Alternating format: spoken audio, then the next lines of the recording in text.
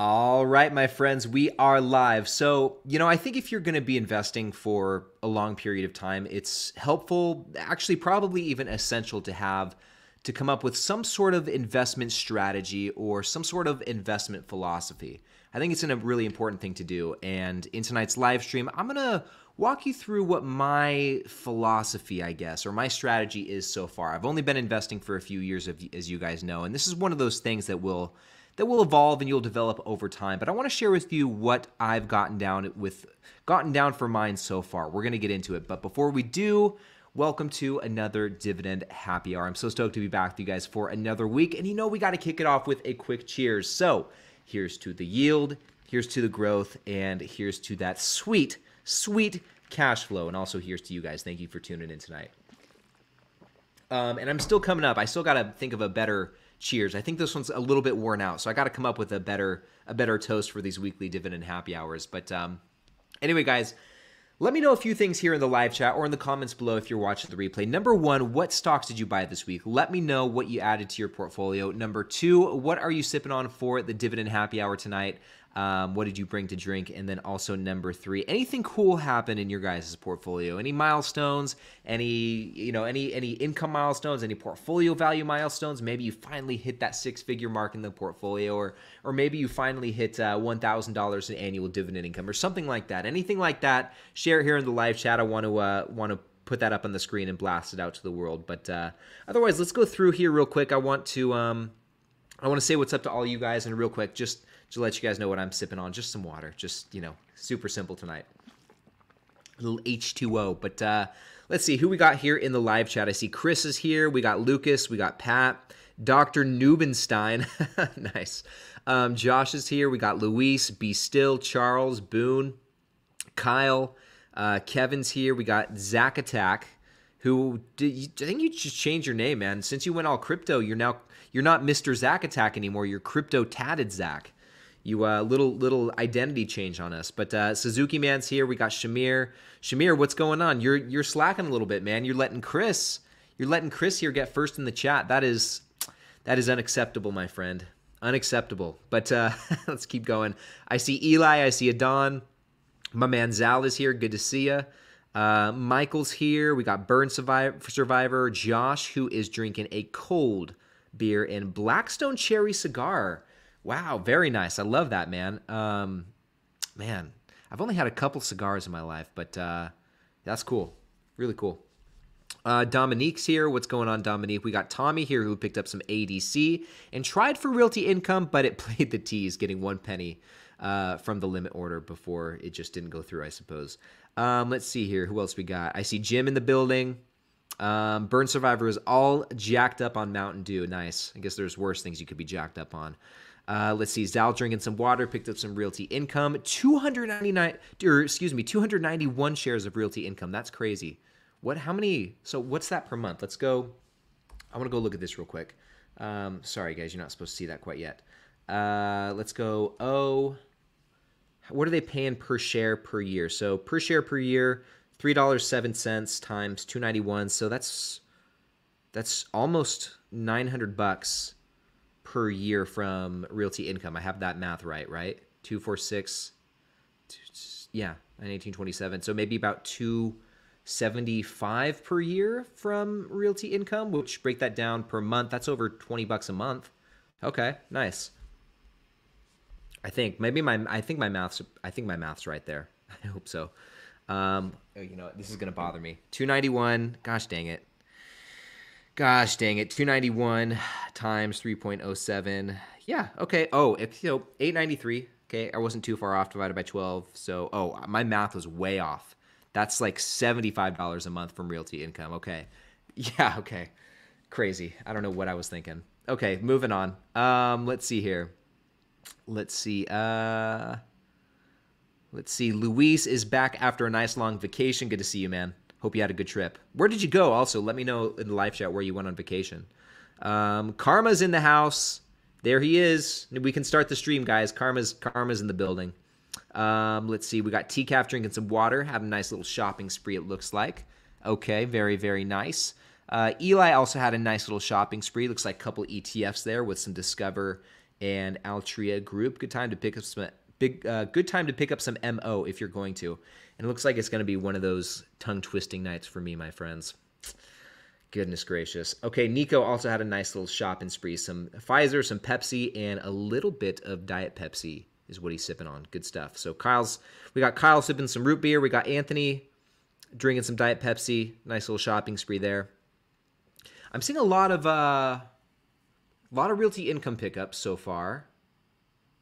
Let's see, definitely some SCHDs, but that you know that's to be expected for sure.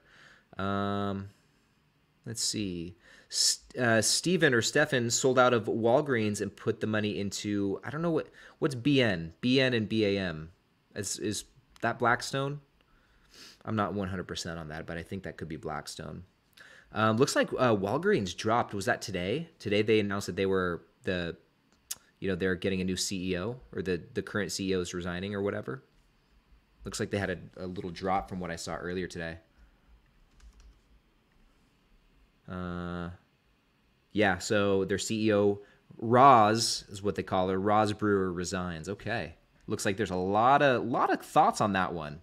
So it could be a good move. I mean, Walgreens has definitely not like definitely not been performing that well over the last, I mean, five years. Geez, they are down 65%. Okay, so about a 7.5% drop today. That's definitely pretty substantial. Okay. Um, anyone buying Walgreens on that note? Anyone anyone thinks this is a good buying opportunity? I'm curious. Um, let's see who else we got here. Let's keep going. Yeah, a lot of realty income pickups I'm seeing. Um, Boone, very interesting combination. Coffee and Kool Aid. Wow, I might have to try that one tomorrow morning. Um, very interesting combo. Let's see, Kyle. Yep, also some realty income and SCHD. Okay, cool milestone too. Hit five hundred dollars in dividends in, in annual dividend income. That's fantastic. Good job, man. That's great. Really cool milestone. Paolo says, Ryne, you rock. Thanks, Paolo. You rock as well. I appreciate that. Um, let's see here. Shamir also taking advantage of a little Texas Roadhouse before it goes ex dividend. Good stuff. Um, let's see here. Keep going. Ooh, Kyle, just shy of $15,000 in the portfolio. Nice little milestone there. Um, let's see here. Jim with some nice purchases. Main Street Capital Corporation, New York Community Bank, and Merck were the big purchases. Sipping on some branch chain amino acids. Love it, Jim. Jim, you just just uh, finished pumping some iron, or what's what's with the BCAAs? Nice. I uh, got to say what's up to my man Dave. Good to see you, Dave. Hope you're having a good day and a good week. Crazy weather we're having. So Dave's also a Vegas local. Crazy, crazy weather in Vegas today, guys. It's uh, there's flash floods today, or there I don't know. It's been like storming on and off, thunder and lightning pretty much all day. And I kid you not, and I'm not even exaggerating. This is today is probably the heaviest rain that I can ever remember seeing. It was it was crazy in my neck of the woods here in Vegas. Just it was like the opening sequence from the day after tomorrow. It was it was crazy, crazy rain. Um. Anyway, let's keep going here. Ooh, let's see. Todd stacking up on some oh oh oh. Good stuff. Uh, we got Anthony here for the first time in the live stream. Anthony, thanks for tuning in. Hope you uh, hope you enjoy it. It's uh, you know these these dividend happy hours. You never know. You never know what's going to happen when we go live. It's uh, it's always a party. Um, let's see here. We got Trindaware. Greetings from Germany. That's so awesome. It blows my mind. Like, and we'll get into the main event in just a moment, guys. I promise. But it it just blows my mind how many gosh guys it just blows my mind how many uh, how far and wide this dividend investing community is and these these live streams definitely remind me of that and it's cool. And just another example we got christopher watching all the way from puerto rico. What a what a world we live in guys. It's crazy. Love it. It's so cool that we're all able to uh, all able to come together though through this and uh, be able to hang out. So i'm thankful for you guys tuning in all across the world. So yeah zal says your math is off again two weeks in a row. I know I know, man. Thank goodness for calculators, though. um, let's keep going here. Wow, Trendaware picked up almost 50 shares of Main Street Capital Corporation yesterday. Wow, good stuff. Um, uh oh. Dr. Nubenstein, you've got some ex- explaining to do. I feel dirty. I bought some in a dividend trap. What did you uh what did you buy? Maybe I passed it. But let me know again in the live chat what you bought cuz I think I missed it if you if you said it. Um Let's see. Maybe he'll say it if we keep scrolling down. Um, where is it here? Uh, I don't see it. Okay. It's raining in my lightning in my lighting shop at the Mirage.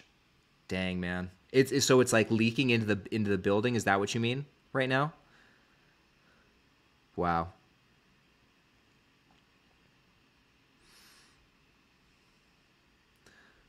Um, man, I'm looking to see what Dr. Nubenstein picked up. I don't see it. Oh man, we got all the way from Korea, watching all the way from Korea. That's pretty incredible. Okay, we got another one watching from Puerto Rico. Bought some Walgreens today. The price was too good. And dang, Dave, stay dry out there, man. I'm, I'm sorry to hear that it's leaking in, in where you're working right now. That's it's just crazy. Um, okay, so guys, oh, we got Paulo. Also, greetings from Portugal. That's gosh, guys, it's so it's it just blows my mind. Um, okay, so for those of you who are just now tuning in, I mean, I know you saw the title of the video, but um, you know, I'm a, we're we're about to get into it too.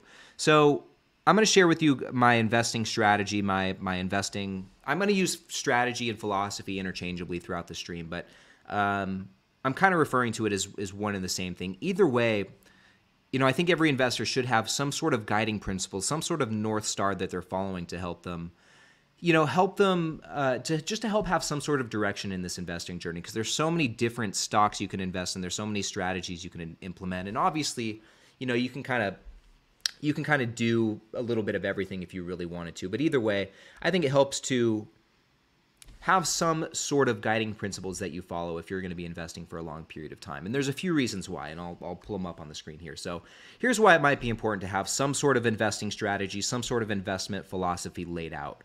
Um, and I, I, actually have mine written down. That's where a lot of these notes that we're going to look at come from. I haven't written down somewhere um, that I can refer to and expand on over time. But why it's important, the first point there is clarity of purpose. So I kind of kind of touched on it, touched on it already. Having an investment philosophy it's going to help provide some sort of roadmap for your investing journey. It's going to give you a clarity as to to where you're going and why you're doing it, and it forces you to define your investment goals and your objectives. You know what you're trying to get out of this portfolio, which will help you guide um, or will help guide your investment decisions. So you can take this roadmap and it'll kind of tell you where you should be looking in terms of and what you should be looking for in terms of the stocks that you're investing in.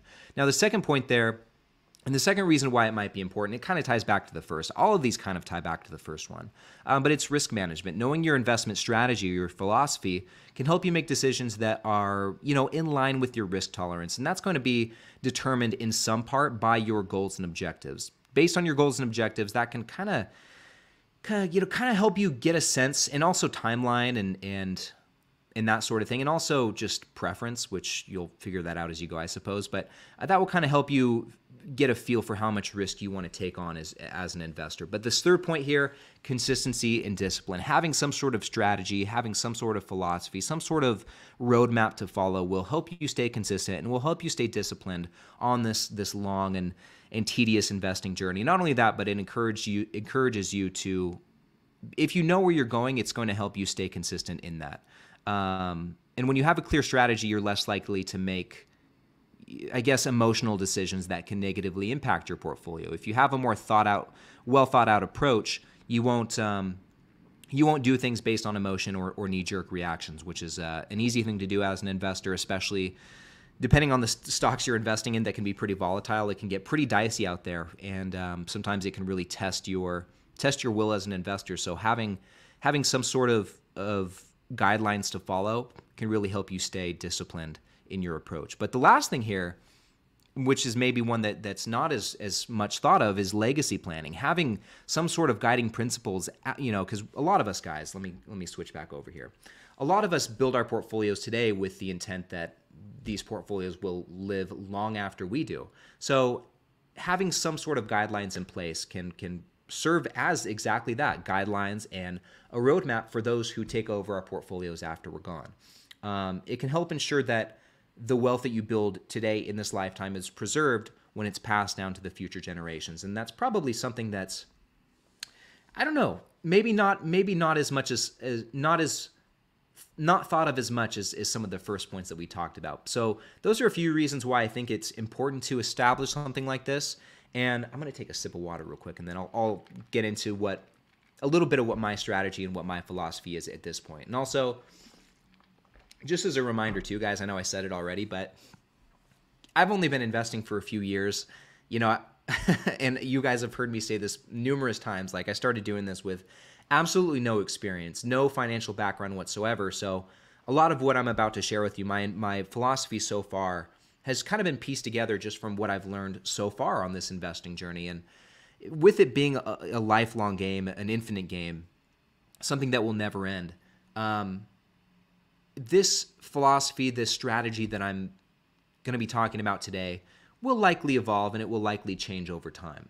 Um, so keep that in mind as we're going through it. This is just kind of where I'm at so far, I guess, on the journey. And down the road, you know, part of the, part of the fun of making these videos is is they stay online forever. Maybe that's good or bad. I don't know. it depends on the video, but it'll be fun to look back on this a few years from now and see how things have changed and also how things have stayed the same. But without further ado, here's kind of an overview of my investment philosophy at this point so far. So, at the core of my philosophy, I'm just going to read it for you, are the combined principles of value investing and dividend investing. And, not, and while my investing philosophy will undoubtedly change and evolve with time as I gain more experience, these, tor- these two core principles will remain constant throughout. So, I figure as long as I live, like I don't you know, value investing, which I'll talk more about this, both of them in a moment, but value investing, buying stocks when they're at an attractive valuation is something that's always going to be a part of my, my strategy. My philosophy is an important thing to do. Dividend investing as well. Um, dividend investing, and I say dividend invest, when I say dividend investing, I, I just essentially mean investing solely in dividend stocks. Um, maybe not solely. There might be a point down the road. I don't know where I buy a stock that doesn't pay a dividend, but investing um, primarily for cash flow down the road and dividend growth is something that that will likely remain a part of my strategy for forever. I don't see myself ever ever changing. I love doing this. This fits me, my personality, and my temperament just like a glove. So I don't see either of these aspects ever changing. But diving a little bit more into the value investing side of things, here's a quote from Charlie Munger about value investing that's always resonated with me. I've, I've read this a few times in a few different places. Um, and every time I see it, it's something that, that really just sticks with me. It goes, All value investing, or all intelligent investing, excuse me, is value investing, acquiring more than you are paying for. You must value the business in order to value the stock. And I think that's what we're all trying to do as investors, right? No matter whether you are just buying a stock to see, you know, 100x returns, um, you're investing for share price appreciation, or you're investing for dividend growth or even dividend income, whatever. What you really want to do, everyone wants to buy as low as they can and sell as high as they can, if is sell at all. In our point, or in our case, you know, a lot of us are buying with the intent to never sell our stocks, but if someday you do want to sell them, it's it it makes sense and it, it's a smart move to buy them at as attractive and a value at it's here we go. It makes sense to buy them at as attractive a valuation as you can because it just applies an even greater margin of safety. And kind of expand on that here. Once again, guys, this is going to be a little bit of a tongue-tied live stream. Um, so, when researching an investment for my portfolio, I conduct thorough analysis to understand the underlying business. And I'll go into all these points here too as we continue going throughout this. But uh, financial and fundamental strengths and weaknesses, and also the intrinsic value. The last point there, the last note, the intrinsic value is, is the most closely tied to the value investing side of things. By pursuing value, attractive valuations, plus quality, which is the first few points, do I understand the business? Are they financially and fundamentally strong? Um, but anyway, through those things, my goal is to reduce the risk of capital losses while enhancing the potential for long term total returns. And just as a sidebar to a lot of this, guys, you know, um, there may be some there may be some stocks there are certainly some stocks in my portfolio right now that I bought when I first started investing when I I wasn't really thinking about any of this stuff that I still hold today that possibly go against some of some of this philosophy. Um, and so when I'm talking about this strategy or this philosophy that I'm that I'm keeping in mind that I'm trying to implement as I approach the investments here, um, consider it from like a this point forward sort of basis. So there's some stocks in my portfolio, like perhaps, I mean, we could make an argument for a few of them. We don't have to get into them that um, that maybe don't align with some of this stuff. So, but moving forward, this this approach that I'm outlining today is is what I'm trying to follow. So, anyway, continuing on to the dividend investing side of things. Here's another quote, specifically how, you know, about dividend investing from Kevin O'Leary that that has really jumped out to me. It goes, "Here's how I think about money. As soldiers, I think about money as soldiers. I send them out to war every day. I want them to take prisoners and come home so there's more of them." And that's exactly how I think about dividend investing, I want my money to go out and make more money and then do that again and again and again and again for the rest of eternity. And the cool thing about dividend investing is when that happens, when you put those soldiers out and they come home with even more more soldiers and they'll they all go out the next day that it's just you guys know how it is. It's a compounding effect. That's the dividend snowball or as my friend Professor G likes to say, the dividend avalanche in effect right there. And so that's that in addition to value investing is what I want to implement um, and build in my portfolio is that snowball, is that dividend avalanche. Um, it's war, baby, it's war. But anyway, expanding on this a little bit more, my ultimate goal is to use the dividends paid by my investments to someday, I should have put someday in here, to someday support my financial needs. At some point, I'd love to use the dividends to, at least in part, if not fully, pay you know pay my pay for my lifestyle, um, which is why I exclusively invest in dividend paying stocks. Dividends not only provide investors, this is kind of a little second point here. Dividends not only provide investors with a steady stream of passive income, but they're also indicative of a company's financial strength and stability. This is another reason why I like to invest in dividend stocks because only a financially strong company can maintain a consistent dividend and grow it over time. So, you know, that's that's another reason why dividends are important to me. Um, and I know dividends are not for everyone. I know I know there's a lot of people like to argue about dividends, but this is this is why I do why I do it. This works for me so far, um, and so these two these two things, value investing and dividend investing, are really at the backbone of my overall philosophy. But diving a bit deeper and getting into some of the things that I look for when researching a stock, researching a potential investment. Okay, going over here, the first thing is an understandable business model.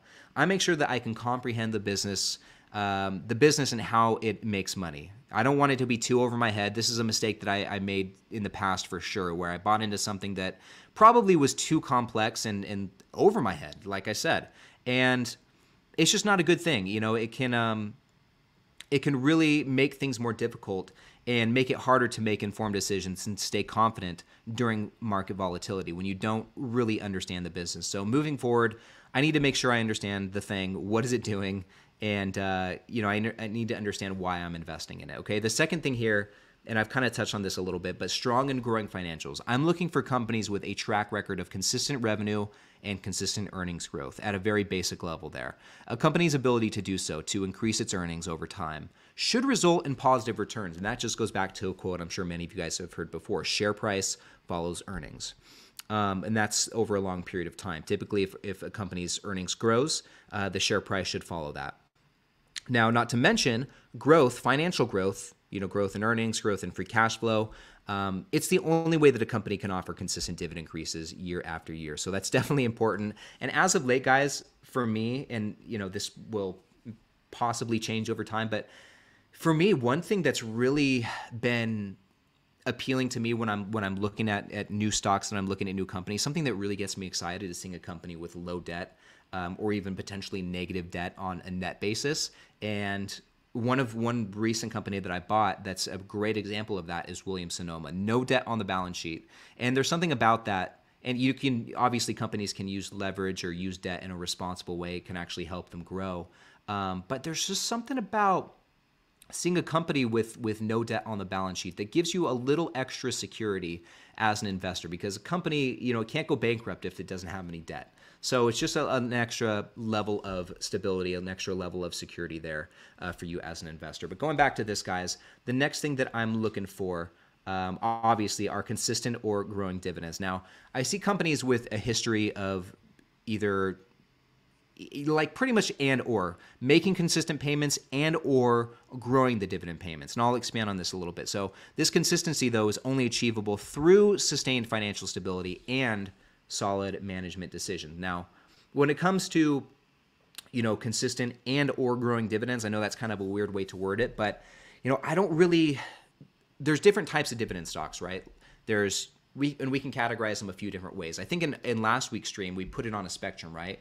Usually these stocks can fall, these dividend stocks can fall somewhere on a spectrum between high yield and high dividend growth. So high dividend yield, high dividend growth. Typically, these high dividend yielding stocks, and we can come up with a few examples of them, it's pretty common to see them not come with a lot of dividend growth, if any. You know, we can look at some companies, their their dividend growth CAGRs are maybe one or two percent if they've got yields in the five, six, seven, eight percent range. Um, but then there's some who just don't really grow their dividend at all, just make their payments are flat, and all you're getting is that high yield. Now, on the other end of that spectrum, there's the dividend growth stocks where the starting yield is not as high. Maybe we're talking zero to two percent, so or maybe even three percent. But then their dividend growth CAGRs are considerably you know attractive. We're in some cases double digits. We can look at Lowe's, Snap-on, Williams Sonoma is another example of that. And in my portfolio, I have a balance of, of a little bit of everything. I've got the high yielders that don't have a lot of growth, if any, that just make those consistently high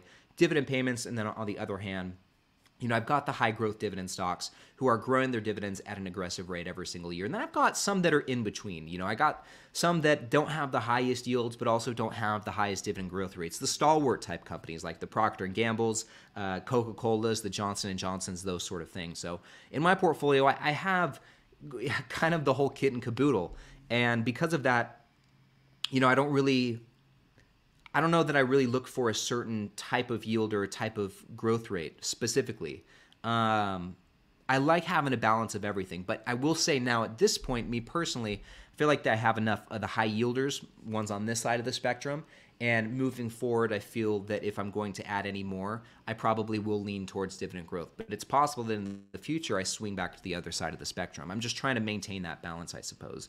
Um, so that's why I say I look for companies with a history of consistent payments and or consistent growth. And obviously if a company is growing consistently, they're they're making consistent payments. But at the very least, I want to see consistency in the payments. I don't want to see a dividend for a couple years then it have it be completely eliminated. Then they bring it back for a few quarters and it's gone again. You know what I'm saying? So um, that's kind of what I mean there. But anyway, going back here, guys, the next thing I'm look for is sensible management and capital allocation. I got to say, out of all of the qualities I look for, management, uh, analyzing management is probably one of my weaker points. I need to exper- I need more experience in this area. If I'm being honest, I need more experience here to better gauge the competence and direction of a management team. This will come in time, I know, as I analyze more companies and and just have more experience as an investor. Um, but anyway, a company's responsible approach to capital allocation, going to that next point, um, including dividend increases, like we kind of talked about, and share buy- buybacks when appropriate, with a huge like underline on that point. When appropriate is a plus. And I've mentioned Williams Sonoma a few times, but they're they're they are an example of someone who try or a company that tries to make uh, do share buybacks when it's appropriate. In their last earnings call, I listened to it the other day. Um, one of the things they kept mentioning in, as it pertains to share buybacks or you know returning shareholder value is opportunistic share buybacks or share repurchases, which is basically buying back shares when the price is right, when it's appropriate, and not not kind not uh, not buying shares back when they're too expensive, when maybe there's a better use of capital. So that is something that I like to see. That's verbiage I like to see them, see them using. Opportunistic share buybacks. So um, that's just an example of that. Uh, but anyway, the last thing here is a competitive advantage. I like to see that. Not all company has a competitive advantage. I'm sure there's some that don't. But um, anyway, this could be things like you know a strong brand, uh, high barriers to entry, maybe like a very loyal customer base. We can come up with some companies that have that, um, or even you know insensitivity to cyclical economic trends. If we look at something like a Procter and Gamble, they're pretty steady. They don't seem to swing a lot. But um, anyway, a competitive advantage can set a company apart from its peers and position it for long-term growth. So that's definitely something that I like to look for. And and kind of with that said, I want to ask you guys a question there in the live chat or in the comments below when when it comes to a competitive advantage, when you hear the term competitive advantage, what is like what's the first company that you think of? What is the first company that comes to mind? I'm curious to know what you guys have to say about that. Let me know in the live chat uh, or in the comments below if you're watching the replay. Competitive competitive advantage, what's the first company that comes to mind? Let's see. I'm interested to see what you guys say.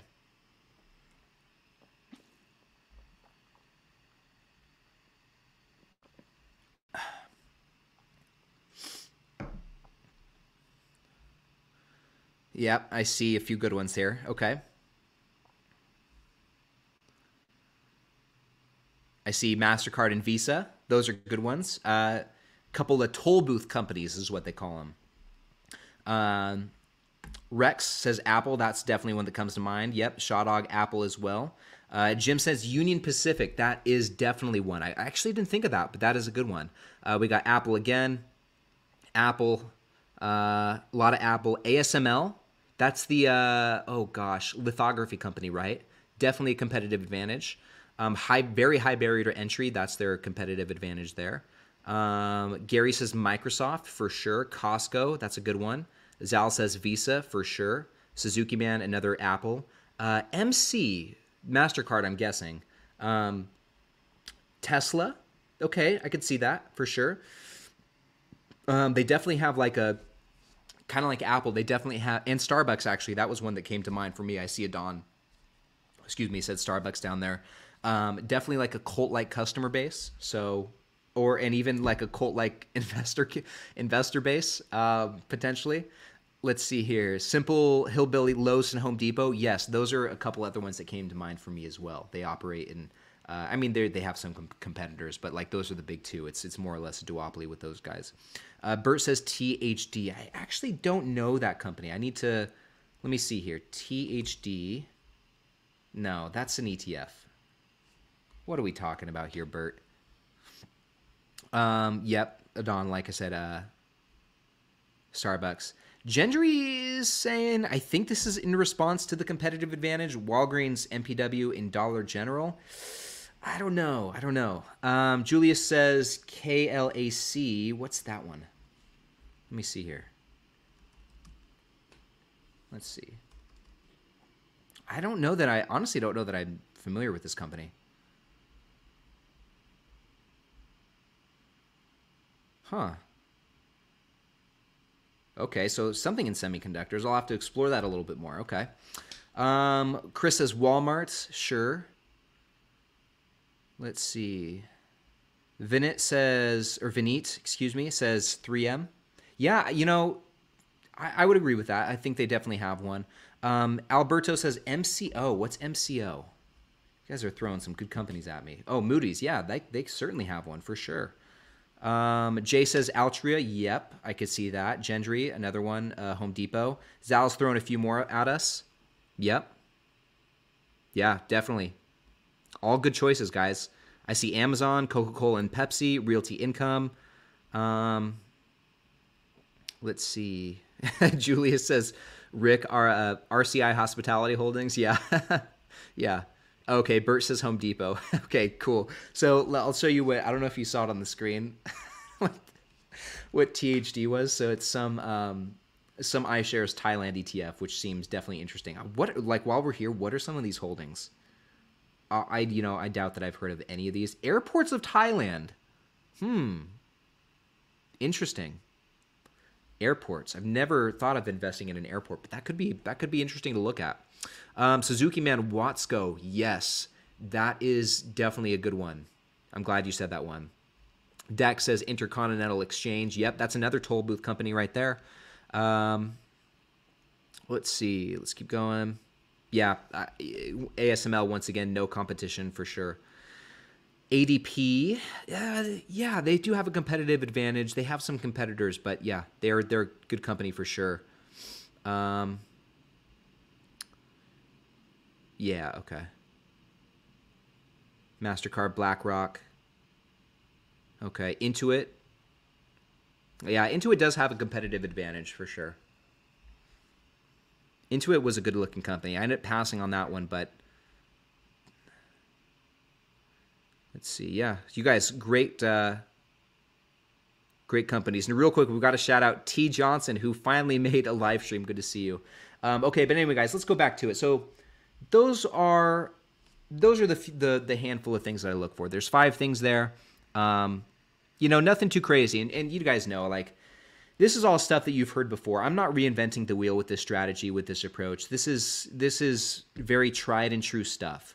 Um, and like I said, I'm not reinventing the wheel. A lot of a lot of what I've shown here and a lot of the strategy and philosophy I've pulled together so far just come from things that I've learned from the people that inspire me as an investor. And I want to give a shout out to some of those people right here. It's kind of a you know, it's a short list right now, but it really is. This list could be so much longer, and there's some there's some familiar names there for sure: Warren, Charlie, Ben Graham, Peter Lynch, Mohnish Pabrai, Guy Spier.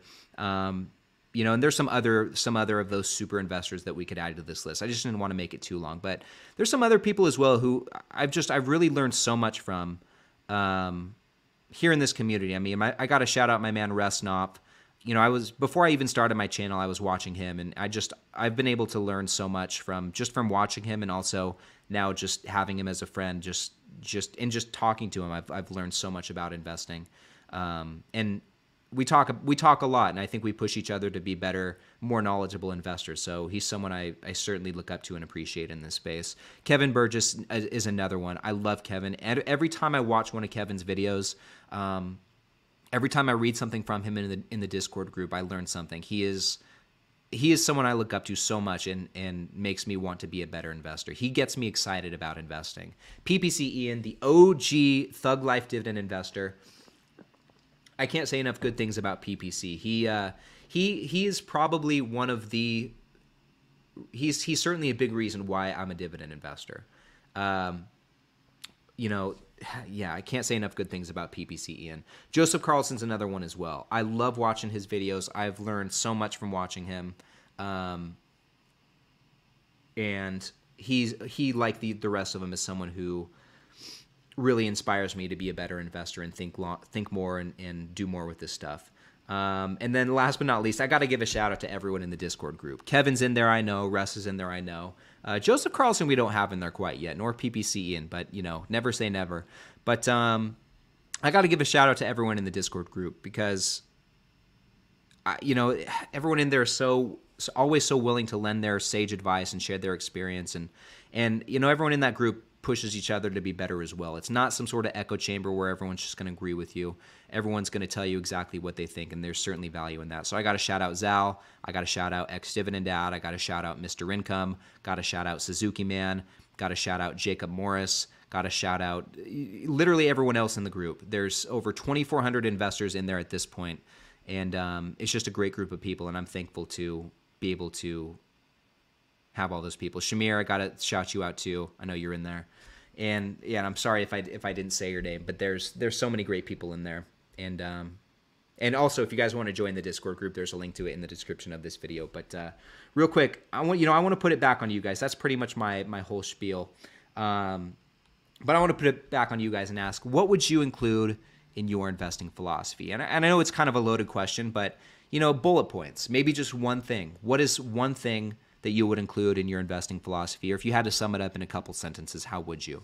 I'm curious to know. Let me know that in the live chat and also let me know in the comments below. And do like Zal says, all these things here like button, hit the subscribe button, and also join the Discord group. Once again, there is a link to grab it in the description of the video. And it's free to join too. You just click the link, it'll take you right there. So, oh, and another important thing, I think a lot of people miss this. If you do join, upon joining, you will automatically be taken to the welcome page please read the rules on the welcome page because it will show you how to unlock all the rest of the channels. Okay, when you go in there, initially it's going to look like kind of a, a, blank slate besides the welcome page, but uh, just read the rules. It'll tell you how to unlock all the channels to chat and all that stuff. So, um, let's see here. Oh, and yeah, another thing. Sign up for the email newsletter. If you guys actually, I, I put out a, I don't know if a lot of you guys even know this, but I put out an email newsletter every single week um, I actually linked the most recent article, the most recent edition in the description of this video. If you guys want to read it, you can check it out.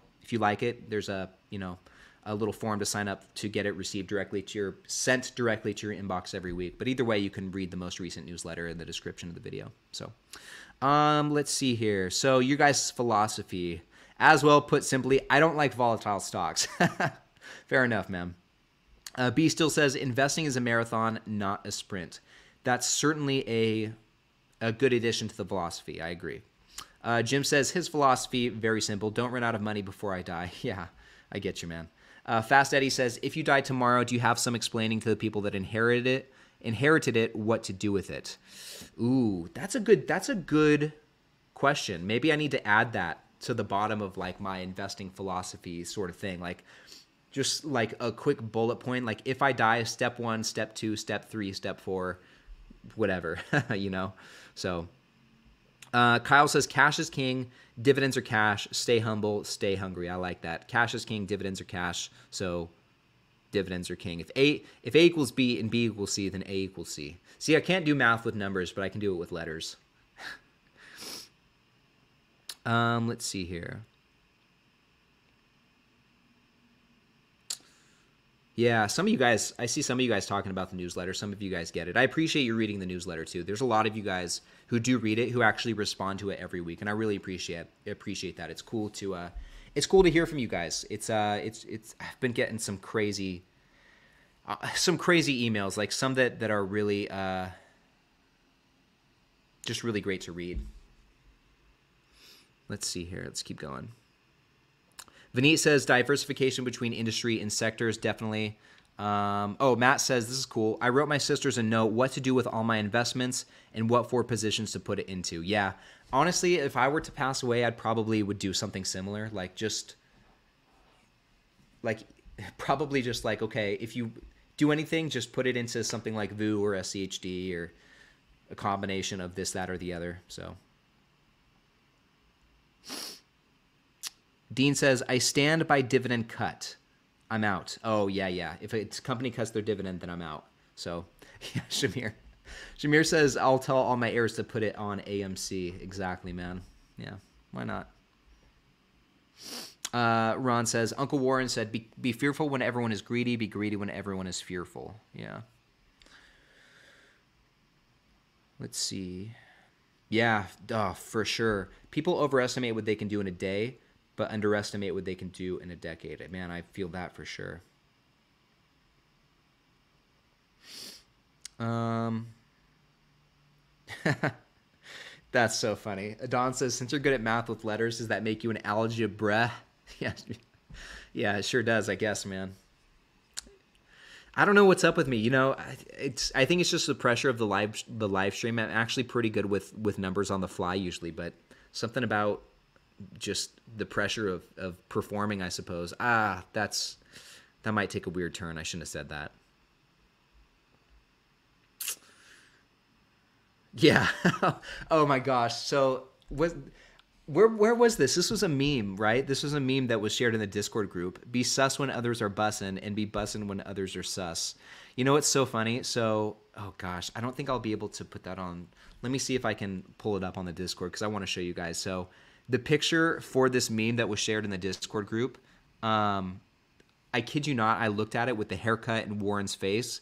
It it seriously looked like my my little brother Holton, who's not watching, but uh, yeah, it looked. I, I saw that and I was like, oh my god, that's that's him. I'm gonna see if I can pull it up. Might take me a moment, but while that's happening, we'll keep going. Um, Eli said, "What about Gen X dividend investor?" Yeah, he's definitely on there too. Gen X is on there. Dividendology's got to be on there. Uh, dividend data's got to be on there. Dividend growth investing's got to be on there. Dividend growth income. Got to shout out Nick. He's on there too. I got to shout out my man Darth.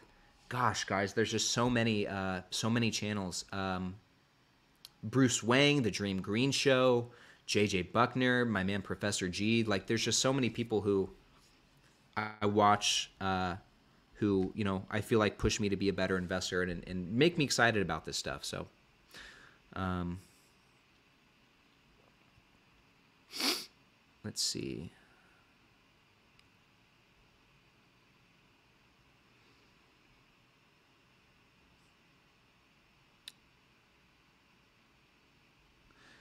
Okay, let me. I think I can share the. I think I can share the screen to the the to to the Discord group. Ryne, just slow down. Okay, here it is. Okay. Okay, give me a sec. Let me see if I can share it. One sec. Oh, yeah, here we go. You ready? It's this right here.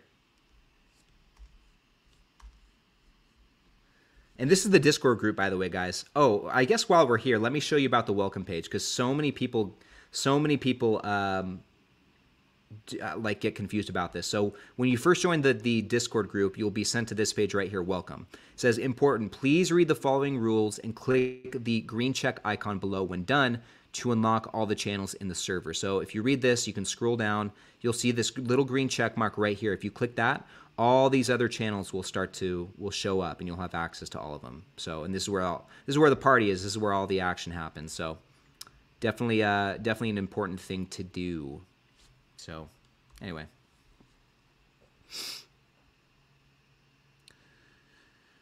Um, let's keep going. Zal, I shouted you out. I shouted you out, man. I definitely shouted you out. You were one of the first people I mentioned when I when I said uh, said everyone in the Discord group.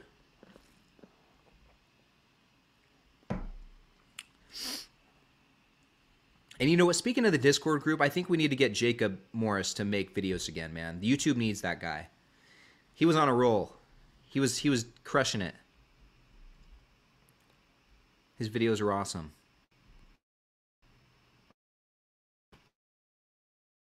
Um, okay, guys, and just so you know too, it's about 5:45 Pacific time, my time here. So we got about 15 minutes left in the live stream tonight. Um, and do like Adon says here, don't forget to click the check mark. I did that and felt like a dum dum. yeah, in the Discord group. And just going back, just so you guys can see here, right here, this thing. You go to the welcome page, read this stuff, click this green check mark. You'll get all the other chats and channels. So I'd love to see you guys in the Discord group. We just hit 2,400 members in there today, which is a really cool milestone. And um, oh, Dividend Bull too. Yeah, Dividend Bull. I forgot about him. I like him a lot too. Um, so, anyway, that's where we're at. I see you guys sharing sharing some other good channels. There's just so many. This is an interesting point too. I just see this comment from Boone. It's almost not worth holding dividend stocks when bonds are giving nearly 5% a month. Yeah, it's uh I see I feel like I see this said a lot. Um, a lot of people sharing this sentiment. Um, and it's just a trade-off like it's there's I don't want I, I don't know if risk is the right word, but there's certainly more volatility with stocks. I mean, you'll get that guaranteed 5% return with the with no movement in the principal when you put something in a bond or a or or even a high yield savings account. But um, you also don't get the potential appreciation. You also don't get the dividend growth. Um, so they're just different.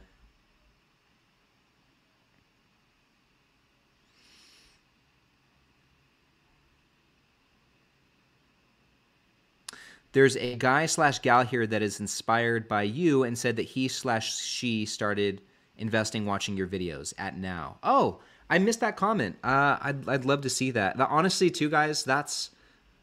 Um, let me see if I can scroll up and find it. And honestly, too, guys, that's um, that's one of my favorite comments to hear. And I get those emails from time to time too, where someone said, "Will will have said something along the lines of, you know, I just I just started investing um, after watching your videos. You made it seem so simple, so straightforward, and and actually fun. So I started, and just thank you, all that stuff. And that's seriously my favorite. Uh, that's my favorite comment to receive. And my whole point with this. Uh, oh yeah, Ari Gutman. I gotta. I cannot forget Ari. I love Ari. Such a great dude. Um, that's really my whole point. That's really my whole mission with this channel, guys. Like I've I've said so many times, I. Uh, you know, I started doing this with no experience whatsoever. Just really went into it not knowing what I was doing. And my whole mission with this is just to show that anyone can can start investing and have success with investing and and learn how to be an investor just by doing it as you go.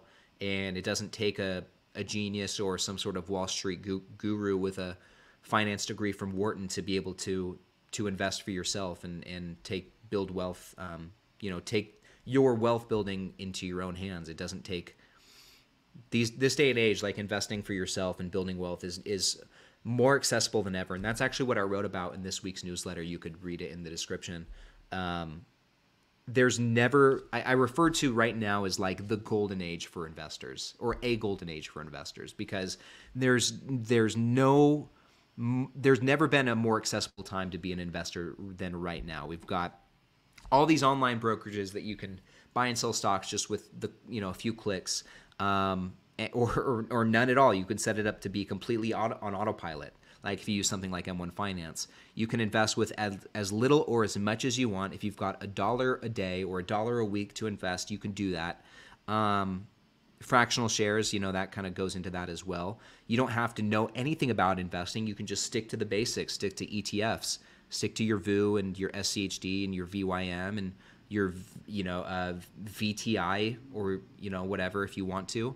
And you don't you can just set it and forget it. So there's there's never been a more accessible time to be an investor. Not to mention there's it's all commission free trading these days. So you don't have to even pay anyone to to get started. You can just do it on your own. And the only money that you have to to contribute i guess is is or all the money that you contribute is going to your portfolio. So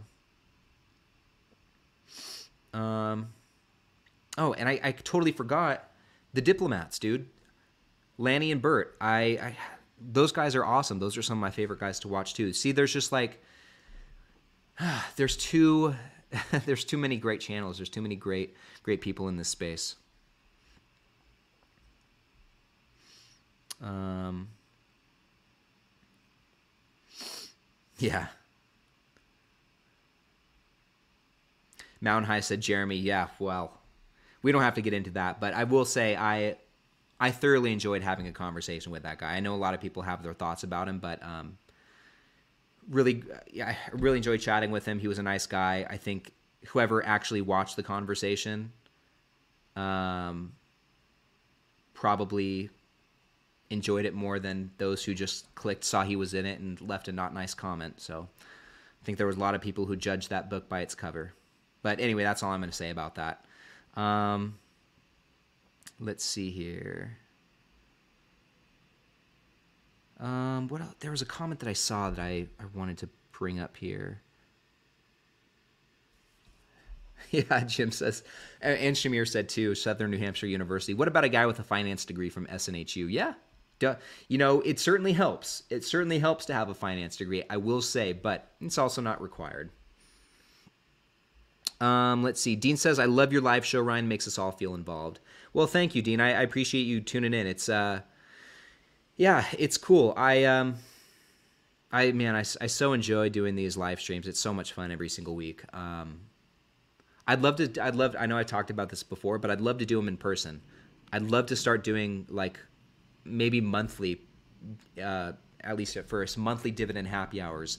I know there's a few. Um, there's kind of a small group of us investors here uh, in the community who live in Vegas. So I think it'd be fun to to start start something up monthly, get together for like an in person happy hour, and then um, make it a thing where anyone who ever comes to Vegas, anyone who who's ever in town, um, around the same time that we have these can can also join as well and and come hang out. I think that'd be a lot of fun.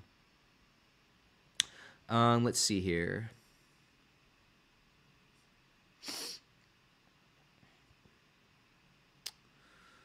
Uh,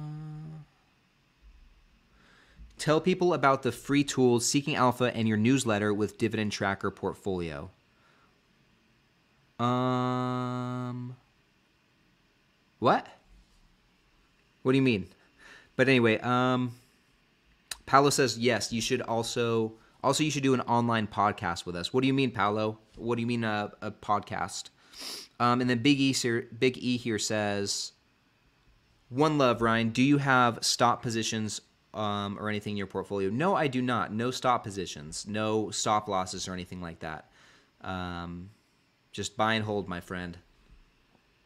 Guy says, "What's going on, Guy? I hope you're having a, a good week, man. I feel like I haven't seen you for a while, but uh, I finally had a chance to sit and watch. I'm at I'm at work in the nursing home. Oh man, well, thank you for tuning in at work. I hope this um, the last few minutes of the stream makes helps helps to make time go um, go by faster for you at work. So, um, oh Ruger, just just stopped for, stepped in for mowing my lawn. Just wondering what your thought on these YieldMax ETFs. Yeah, so I talked about this last week, um, and I'm you know I'm ha- so happy to repeat myself. Uh, whatever, but um, my thoughts on the YieldMax ETFs. Um, it's not it's not personally something that I will be investing in in my portfolio. Um, and I would recommend that anyone who does choose to invest in the yield max ETFs don't put a lot of money into them. Um, you know, how do I say this? You know, some things, I don't know. Like when I see something that's got a yield as high as something like TSLY does, I just look at that and think like there's, it's got to be too good to be true. Like if it's too, if it sounds too good to be true, then it probably is. Like there's, I don't know. There's no free lunch, I suppose, and so I just can't think of a reality where there's there's a sustainable yield that's like 40 to 70 percent, which I think excuse me, is about the range that TSLY has been in since the first dividend payment this year. Their first payment was in January. But I look at something like that and I think, God, there's just that that's something that cannot be sustainable over a long period of time. And so I look at something like the YieldMax funds. I'm going to talk specifically about TSLY because that's the most popular one.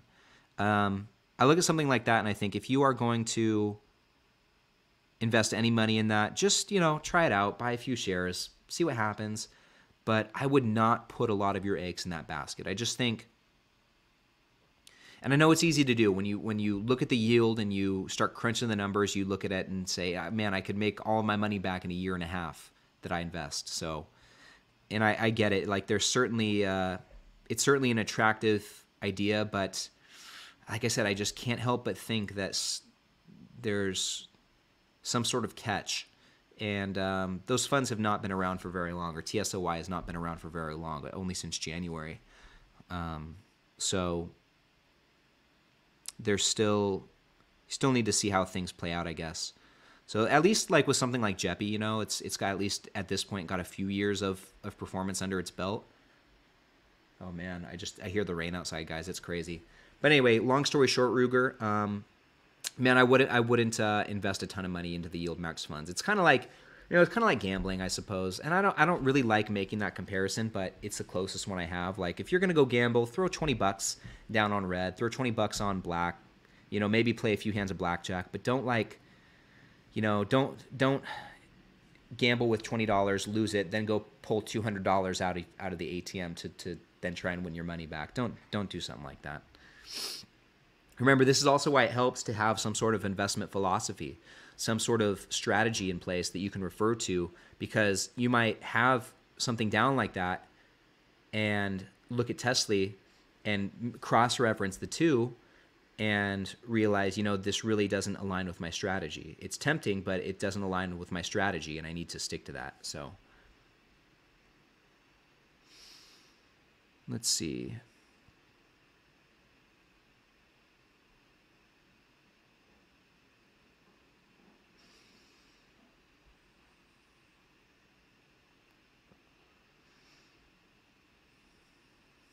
Yeah, yeah. See, like I could never, I could never imagine doing that. Putting fifty thousand dollars into into TSLY. I'd only put fifty thousand dollars into it if I had like multiple million dollars in the bank, and fifty thousand was just kind of a drop in the bucket. But that's certainly, I'll tell you guys what, that's certainly not the case for me. So, and so anyway. Um, let's see. Can you can you actually hear the rain, Zal? So if you can hear the rain, then you probably just heard that crazy thunder too. It's nuts, guys. It's crazy here.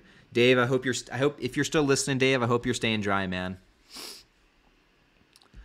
Um, I saw people talking about other guys who talk about dividends. I want to give a shout out to Dapper Russ. Love his videos and also Antonio Invest. I'm late. Yeah, man. Got to shout out Russ. Russ is the man. Also, I know he's not on YouTube, but um, I got to shout out Harris too, who has the One Penny at a Time podcast. And also, while we're at it, I got to shout out the Dividend Talk podcast. Guys, great, great ones to listen to if you're into dividend investing. I highly recommend both of those. Um, if you're a dividend investor, you'll definitely like both of those. Also, um, the I think it's called. I know the newsletters Invest with Conviction. I don't know if the podcast is called the same, but it's this is what it's called. It's, it's Mike Mike the Dividend Guy. Um, the podcast is called the Dividend the Dividend Blog Podcast. I think is what it's called, but it's also good as well. Um, let's see here. So, okay, this is when it comes to TSLY, this is the most common thing I see. I see people say, I'm going to invest in TSLY and use the dividends to reinvest into other things. My thought is that just don't put the money in TSLY, put the money that you were going to put into that and just put it into the other things. You might as well just cut out the middleman. I don't think you should use TSLY as justification to. I don't think you should use the the uh, the fact that you are reinvesting the dividends elsewhere to justify putting money into TSLY in the first place. Excuse me. Especially if you're new to investing. No offense, Russ, but I just don't think that's the best place to start. Uh, do what you're going to do. You know, it's your portfolio, it's your money, but that's just my take. I think there's a lot better places you could put your money as someone who's just getting started. Um, yeah, Mauricio. So this is a really good place to. Um, I'm actually going to screenshot this because this this might be something good to talk about in like next week's live stream. Um, I really like this question. It's it's actually one of my favorite ones to answer, and I think, uh, you know, when I'm talking to other investors too, this is one of the things that I want to know the most. It's uh, it's the why. Why did you start investing? What is? How did you get into this in the first place? And Mauricio, thank you for being a fan. I really appreciate it. So, I got into investing. Just I'll make it short because I would like to spend. I, I, would like to. I think I could talk for like 10, 15 minutes about this. Um, and I might save that for next week's live stream. But um, so I got started investing. I got my first exposure to investing when I was probably like 11 or 12 years old, somewhere in that range, um, either like preteen or, or like early teen years. Uh, my parents made what's called a custodial account or custodian account, excuse me, for all of my siblings and myself, which is essentially a brokerage account for kids who are under 18 that's managed by your, your parents. Um, and so that was my first exposure to investing. And my parents have been, you know, pretty into investing. My dad's big into real estate investing and stocks and stuff like that. So, um, you know, I kind of got st- started. I got exposure to it early because of that. But uh, and so from that point on, when they made those custodians account, every birthday, every Christmas, whatever, um, you know, one thing we started getting was just money for our, our Charles Schwab for for um, our custodian account. So from that point on, you know, every birthday or Christmas, um, once that money hit in the brokerage account, my dad would would sit us down and in the computer and show us what he's buying and kind of why he's doing. And it was things like Berkshire Hathaway. Um, actually, there was some SCHD. Um, Sirius XM was a big position. Uh, PG and E was a big position for a little while and they actually when i was holding them at one point they had a similar thing happen to um, what happened to hawaiian electric just recently and the stock just cratered. I took a big loss on that one. Just kind of like a, a really a freak thing that happened. And pg&e was our in our area where we lived in california. That was the um, utility provider. So anyway it was it was stuff like that. But um, that that was my first exposure to investing and that's how i got into it. Um, and then I didn't get, but I really didn't care. Like it wasn't something I was interested in, especially as a kid, as I'm sure you can imagine. And I didn't really um, get the bug until I was about 26 years old. And something I'll hold back on. I'll kind of leave it there because I'd like to expand on that maybe next week and just tell the full story. Um, but something that happened when I was about 25, 26.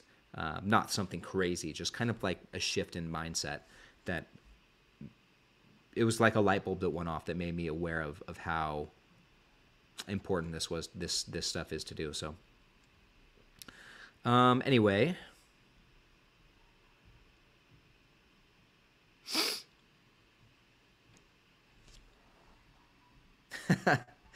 yeah, crazy man, classic. I went to see Backstreet Boys once when I was a kid. Let's see. Yeah, Zal's heard this story probably like a thousand times already. Um,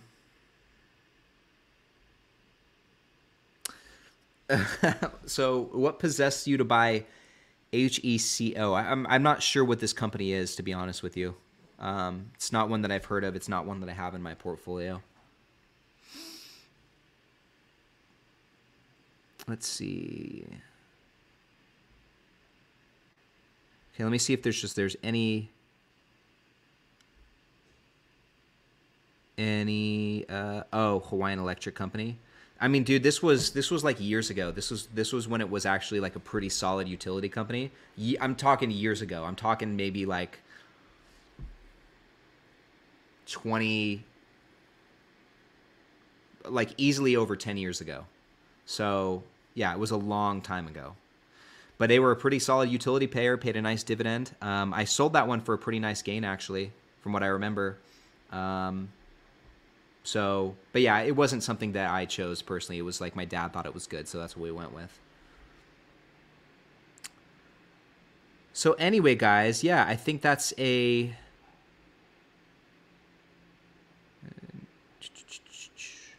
Yeah. No, I think that's a pretty solid place to uh, place to wrap it up. And I think next week, guys, maybe I'll, if you guys are cool with it, maybe I'll I'll dive into this story a little bit more because there's some some more like uh, yeah, there's I think there's a lot to the the whole investing origin story uh, in in addition to like my parents' just custodial account because I don't know I feel like by the time I started um, by the time I turned like 25, 26 and started taking it seriously. It just interesting mindset shift that I'd probably like to expand on. But uh, Shawdog says, Ryne, did you buy PayPal after your interview last week? I did not. No, I didn't. But anyway, guys, this is a great place to wrap it up. Um, nothing else here. Yeah, really good place to wrap it up. I want to thank you guys again so much for tuning in to another dividend happy hour. I'm going to keep thinking more about like our weekly cheers. I need to think long and hard about it. Um, but I want to come up with something better than what we got here. But anyway, guys, I hope you have a fantastic weekend. Don't forget to, uh, number one, like the video if you haven't already. If you're not subscribed, yeah, maybe consider doing so. I won't uh, hold a gun to your head or anything. Um, definitely join the Discord group. There's a link to do that in the description of the video. And also, definitely tune into this Sunday's video. I'm going to be coming out with my monthly portfolio update. It was kind of an interesting month in the portfolio, and I'm excited to tell you guys about it. So, definitely check that out. Hope you guys have a fantastic weekend. I do believe it is a long weekend this weekend, so I hope you guys enjoy the uh, the three days off that you hopefully get. But anyway, guys, thank you once again so much for all the support. Thank you for tuning into the live stream. Um, you guys are the best, and uh, I'll see you in the next one.